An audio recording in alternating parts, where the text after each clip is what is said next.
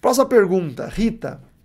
Uma pergunta é, sobre segundo casamento, vai, vai dar polêmica. Uma irmã está noiva de um irmão separado da ex-esposa, que não é crente. É, ele lutou muito, mas ela não se converteu. Ela está em pecado? Tá, então assim, o irmão estava casado e a esposa dele não era crente. O irmão já deu mole.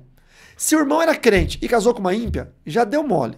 Ele devia ter pensado antes de casar. Não, ele não. Ele, os dois eram ímpios e o irmão se converteu e a esposa não acompanhou ele.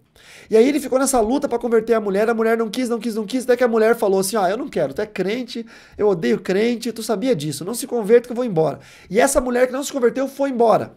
Agora esse irmão aqui tá divorciado.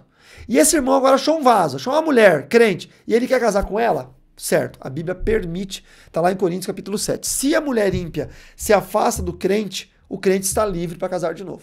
Então eles estão em paz e podem casar em paz. O que, que não pode acontecer? o, o divórcio consensual. Os dois decidiram que não vão ser felizes e eles decidem se divorciar sem que haja traição. Aí o cara ainda, diante de Deus, o cara tá casado ainda. Aí você vai me perguntar, pastor, mas eu vou ser infeliz o resto da vida solteiro porque eu casei mal? Vai, meu irmão, quem mandou tu casar mal? Eu não escrevi a Bíblia, cara. Eu só sou crente, eu me converti, a Bíblia é essa.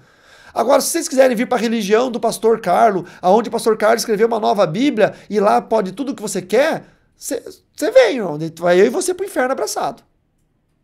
Vamos criar uma nova religião, tudo pro inferno. E eu não vou fazer isso, eu não sou louco. Então, eu não sou legislador. Eu, entendeu? Eu sou só o cara que segue a lei. É isso. Eu não sou o constituinte, o cara que escreveu a Constituição. Eu sou o cara que pegou a lei e seguiu. É igual a lei aqui no Brasil, cara. Você acha que eu tô feliz com o que tá acontecendo no nosso país? Não tô. Mas é a lei pra fazer o quê? Entendeu? Não tô feliz que eu pego minhas trouxinhas e vou embora para outro país, onde a lei lá é melhor para mim.